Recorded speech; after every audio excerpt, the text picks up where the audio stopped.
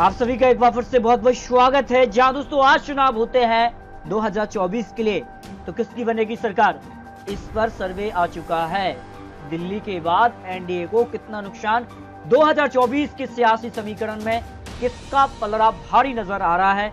इस पर जो है टुडे कार्बी का सबसे बड़ा ओपिनियन पोल सर्वे आ चुका है। या फिर यहाँ पर बदल जाएँगे समीकरण? वनवास पर कई कांग्रेस की वापसी होगी या फिर लगाएँगे मोदी जी हैट्रिक? क्या है लोगों का सर्वे? और देश के कई बड़े राज्यों पर सर्वे किया गया है। ये राजस्थान, उत्तर प्रदेश, मध्य प्रदेश, महाराष्ट्र, कई बड़े राज्य जो देश के अंदर हैं, उन राज्यों पर सर्वे किया गया है लोकसभा चुनाव 2024 के लिए। किसका पलरा भारी नज़र आ रहा है? इससे पहले कुछ और आंकड़े आपको दिखाते हैं। 2014 में सात राज्यों पर काबिज बीजेपी 2015 में तेरह राज्यों पर आ गई। जिसका से 2014 में मोदी लहर चली और 2019 के लोकसभा में भी मोदी लहर देखने को मिली। लेकिन राज्यों में क्या हो रहा है? इस पर भी चर्चा करेंगे, इस पर भी सर्वे सामने आ रहा है।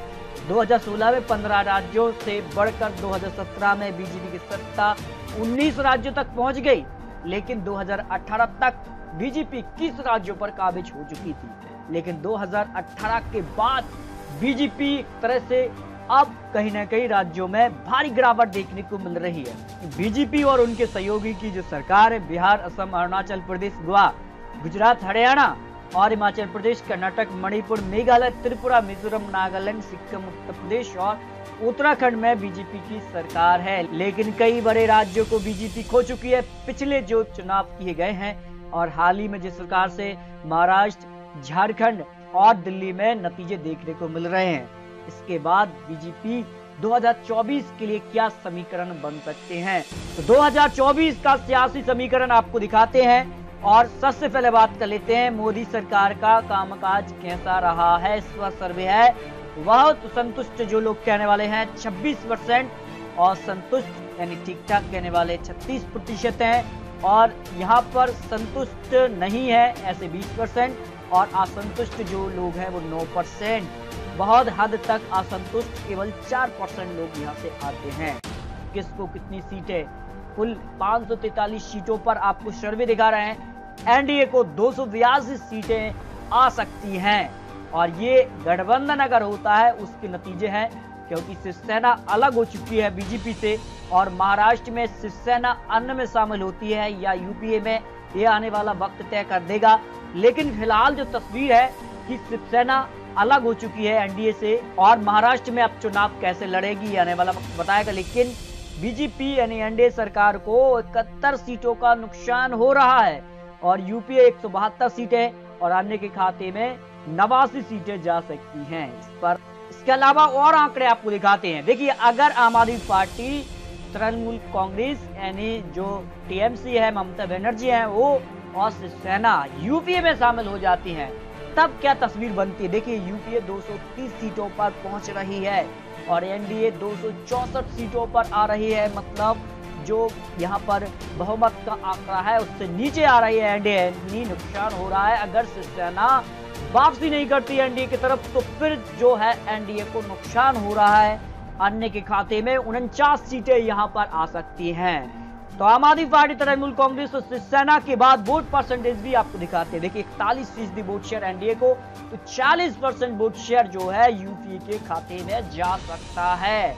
और अन्य के खाते में 13 परसेंट वोट शेयर जा सकता है। ये तस्वीर बन सकती है।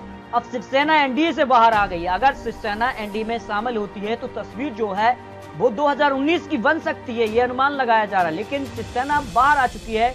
कहीं ना कहीं महाराष्ट्र के अंदर बीजेपी को नुकसान हो सकता है। ये ग्राफ में साफ़ तौर पर दिखाई दे रहा है। और अब तक की सबसे बेहतरीन पीएम की तुलना की जाए तो कौन सबसे अच्छा पीएम की रेस में आगे चल रहा है इसका सर्वे है। देखिए, मोदी जी, चौतीस परसेंट लोग मानते हैं कि प्रधानमंत्री मोदी जी यहाँ पर पीएम के तौर पर सबसे आगे हैं। इंदिरा गांधी 16 परसेंट, अटल बिहारी वाजपेयी तेरह। तो जवाहरलाल नेहरू आठ परसेंट, लाल बहादुर शास्त्री जी छह और मनमोहन सिंह जो है छह परसेंट इस रेस में आगे हैं। देश का मिजाज कौन सबसे अच्छा मंत्री है? इस पर भी सर्वे आया है। देखिए, अमित शाह तैतालीस परसेंट, राजनाथ सिंह उनतालीस तो नितिन गडकरी चौंतीस, निर्मला सीतारमन यहाँ पर छब्बीस, पीयूष गोयल चौबीस और स्मृति ईरानी बाईस, रविशंकर प्रसाद सोलह, रामविलास पासवान 15 तो गुजरात सिंह 15 परसेंट लोगों इनको अच्छा मंत्री मानते हैं। तो सारी तस्वीर देखने के बाद तस्वीर ये बन रही है कि एनडीए को दो अगर आप तृणमूल कांग्रेस, शिवसेना, यूपीए में शामिल हो जाते हैं, ऐसा हो सकता है, बिल्कुल ये जो आंकड़े हैं, वो कहीं ना कहीं यूपी की तरफ़ जा सकते हैं। अन्य के खाते में उनचास, यूपीए दो तक पहुँच रही है। तो दोस्तों, आपको क्या लगता है, क्या प्रधानमंत्री मोदी जी एक बार फिर से पीएम बन पाएँगे या फिर कांग्रेस की वापसी होगी? होगी तो होगी, कितनी सीटों के साथ वापसी होगी, अपनी राय कमेंट बॉक्स में दे सकते हैं।